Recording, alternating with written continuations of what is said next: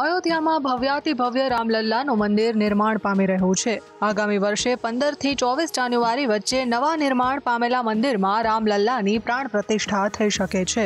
ત્યારે રામલલ્લાના મંદિરના ઉદ્ઘાટન અંગે દક્ષિણ કોરિયાના રાજદૂત યાંગ જે બોકે મોટું નિવેદન આપ્યું છે. એક કાર્યક્રમ દરમિયાન યાંગે મંદિરના ઉદ્ઘાટન સમારોહમાં સામેલ થવાની ઈચ્છા વ્યક્ત કરી છે. દક્ષિણ કોરિયાના રાજદૂત યાંગ જે બોકે કહ્યું કે અયોધ્યા ભારત અને સાઉથ કોરિયા માટે ઐતિહાસિક રીતે ખૂબ જ મહત્વપૂર્ણ છે. ઉપરાંત તેમણે ઈચ્છા વ્યક્ત કરી છે કે જો ભારત સરકાર રામ મંદિરના ઉદ્ઘાટનનું સત્તાવાર આમંત્રણ આપશે તો સાઉથ કોરિયા નિશ્ચિતપણે ભાગ લેશે. ન્યૂઝ એજન્સી સાથે વિશેષ વાતચીત દરમિયાન યાંગે કહ્યું કે અયોધ્યા, ભારત અને સાઉથ કોરિયા માટે ખૂબ જ મહત્વપૂર્ણ છે. કેન્દ્ર સરકાર અથવા ઉત્તર પ્રદેશ સરકારે રામ મંદિરના ઉદ્ઘાટન કાર્યક્રમ અંગે વિસ્તૃત જાણકારી આપવી જોઈએ. જો ભારત સરકાર સત્તાવાર આમંત્રણ પાઠવશે, તો દક્ષિણ કોરિયા નિશ્ચિત રૂપે કાર્યક્રમમાં સામેલ થવા માટે કામ કરશે.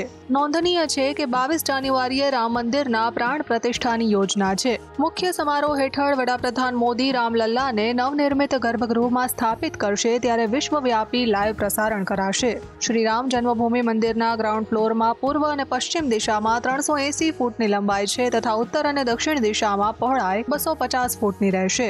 આ મંદિર ગ્રાઉન્ડ ફ્લોરની સાથે જ ત્રણ માળનું રહેશે. મંદિરની કુલ ઊંચાઈ ત્રણસો બાણું ફૂટની રહેશે, જેમાં ગ્રાઉન્ડ ફ્લોર એકસો છાસઠ ફૂટ, પ્રથમ માળ એકસો ચુમ્માલીસ ફૂટ અને બીજો માળ બ્યાસી ફૂટ ઊંચો હશે. ગર્ભગૃહને ભવ્ય રીતે તૈયાર કરાઈ રહ્યું છે. Bureau report, GSTV.